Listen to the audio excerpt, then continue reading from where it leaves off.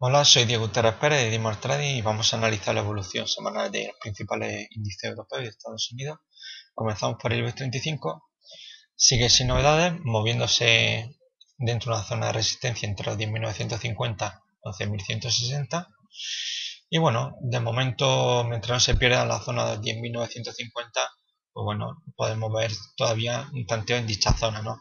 Su pérdida, la pérdida de este nivel, la hacia abajo, podría hacernos pensar en un tanteo a la zona de los 10.600 puntos intentando apoyarse en esta directriz de color verde que hay aquí que es una directriz de largo plazo que ya se ha mostrado fiable anteriormente y yo creo que sería la visita más posible en caso de que se pierda la cota de 10.950 vamos a poner un gráfico semanal para ver claramente aquí tenemos la zona que les mencionaba de resistencia ¿no? Que donde ahora mismo estamos, aquí vemos totalmente, esta semana ha sido claramente bajista, envolviendo todo el cuerpo que tenemos aquí de la vela precedente, una especie de envolvente bajista, con lo cual en gráfico semanal pues esto nos podría indicar nuevamente como ocurrió en esta vela que tuvimos aquí precisamente que podríamos ver caída mm, con una mayor fortaleza eso sí desde luego no tenemos todavía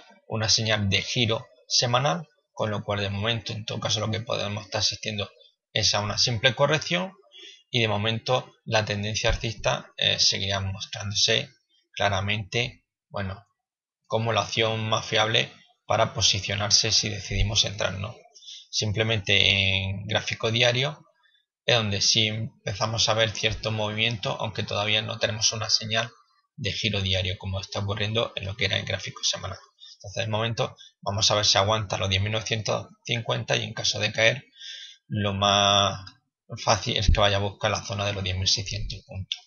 Al menos.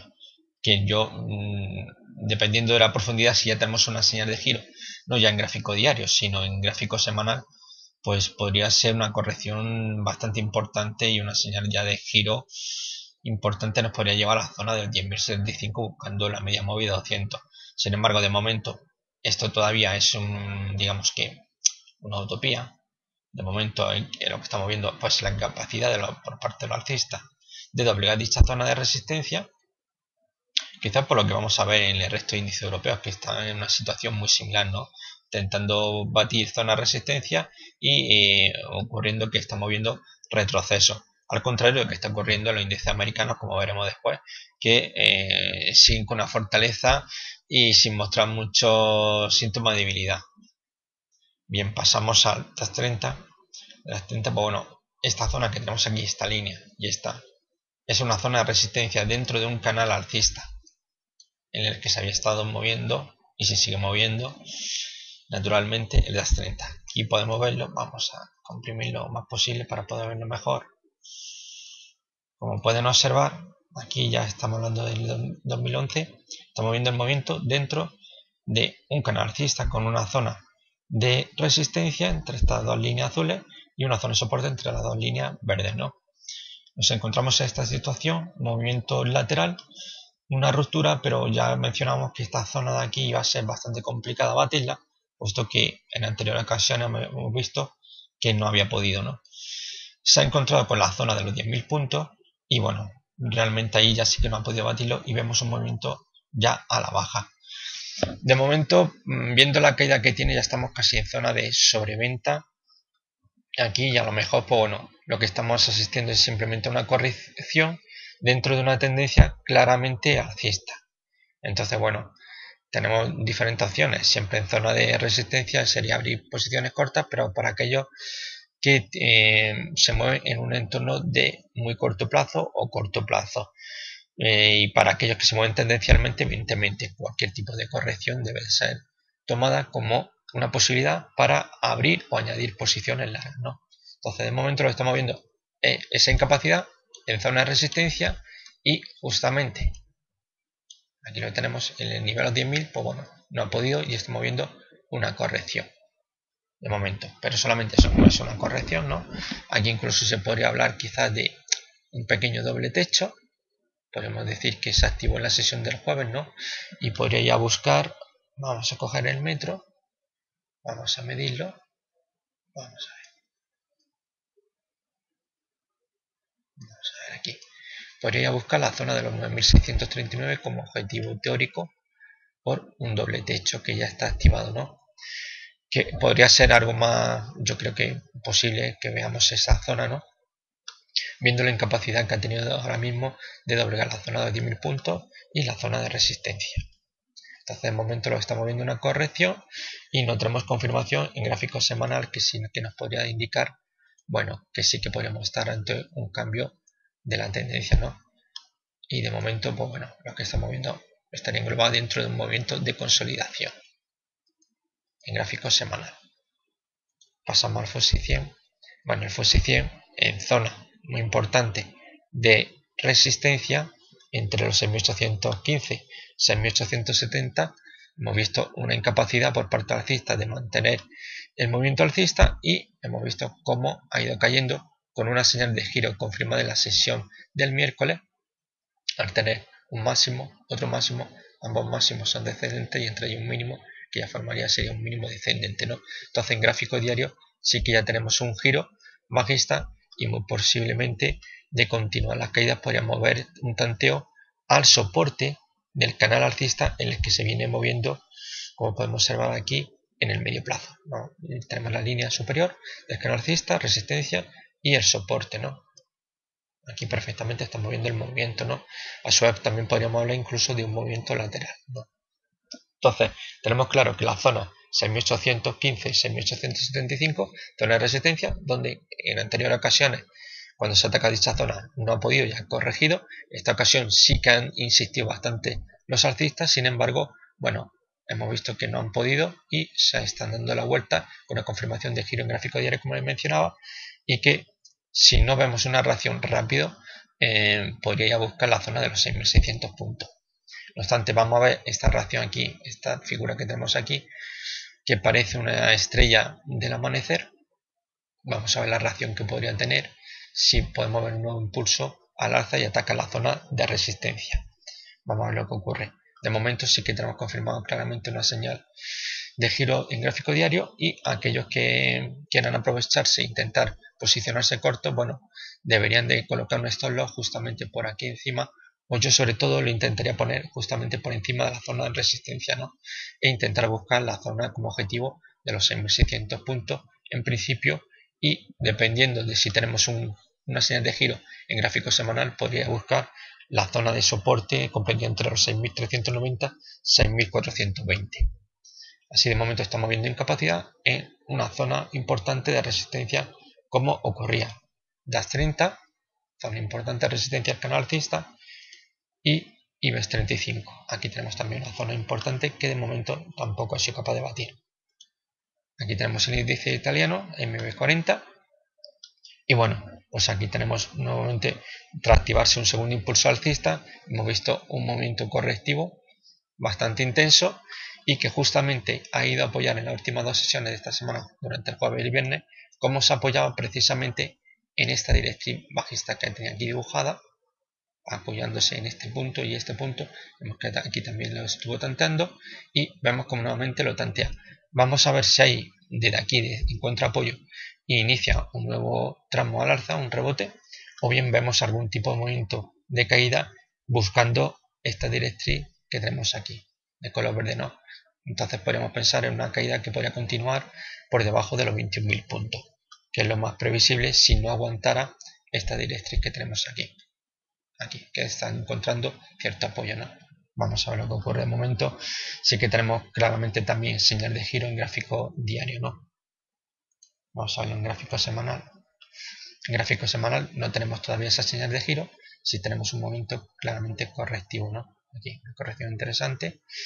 Tres semanas con cierre bajista que viene a confirmar la corrección que estamos observando en gráfico diario simplemente que aquí sí que tenemos ya un máximo y otro máximo y son descendentes no entonces aquí sí tenemos una señal de giro. Bien pasamos al Eurostock 50 bueno el Eurostock 50 pues tenemos lo mismo exactamente. Hemos visto cómo rompió la zona 3300 ha sido incapaz de mantenerse sobre ella y vemos un nuevo movimiento aquí correctivo, justamente hemos visto cómo durante la sesión de jueves y viernes se apoyaba en esta directriz alcista que tenemos aquí, ¿no? Vamos a comprimirlo para verlo mejor. ¿De dónde viene? Aquí. Veis que comienza aquí. Tenemos un toque. Aquí, 2, 3, 4, 5. Y ahora nuevamente lo vuelvo a tantear.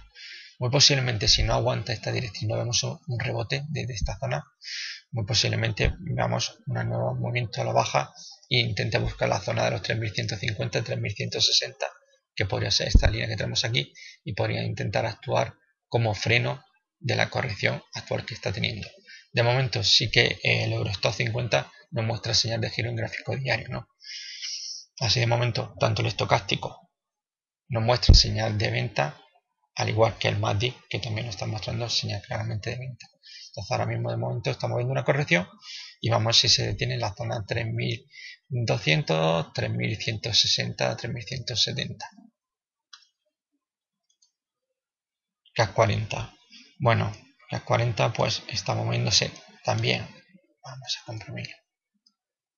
Dentro de un canal alcista, incapacidad en torno a los 4600 puntos y movimiento bajista con señal de giro. Aquí tenemos una señal confirmada de giro en gráfico diario, lo cual el escenario de corto plazo o el más estricto corto plazo pues cambia todo este movimiento alcista por uno bajista. De momento vamos a ver si es capaz de aguantar la zona de los 4.400 puntos, si no veremos nuevas caídas, quizás buscando esta primera línea que tenemos aquí que ha funcionado como apoyo en este punto, podemos ver aquí también, ¿no?